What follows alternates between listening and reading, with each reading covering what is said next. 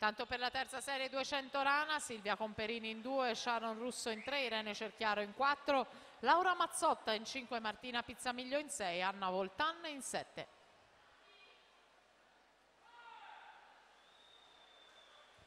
Testa a testa con Manuel Frigo in corsia 3, Gianluca Gazzola in 4, il primato junior di Stefano Graffa 26 e 38, Gazzola 26 e 57, conquista la terza medaglia d'oro, Manuel Frigo 26 e 65, Filippo Masiero 27 e 13.